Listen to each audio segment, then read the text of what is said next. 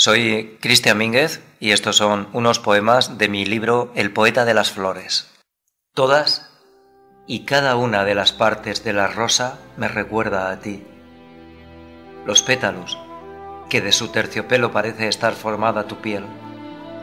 Sus hojas, que de su verdor está forjada tu esperanza.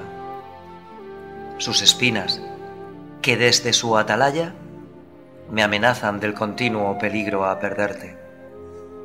Su fragancia, que desde su magnitud se funde con el que emana tu alma. Sí, cada una de las rosas en cada una de sus partes me recuerda a ti. No logro deshacerme de tus pétalos, rosa. No logro deshacerme de tus pétalos, rosa cuando marchitados caen inertes, bellamente secos, sobre algún libro de poesía. No soy capaz de abandonarlos en un lugar donde ya no serán míos. No, no lo hago.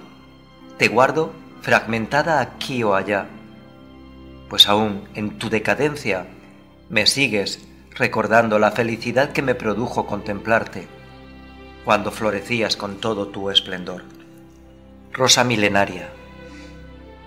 Venus, la estrella del amor, reflejada sobre el Nilo cuando apaciblemente navegaba por sus aguas, me hizo de nuevo recordar que tú, Rosa, estás hecha de su esencia, que sobrevives aún más milenaria que estos templos de piedra, donde un día, en el pasado, floreciste como ahora con todo tu esplendor y renovada a través de milenios, perduras por los siglos de los siglos.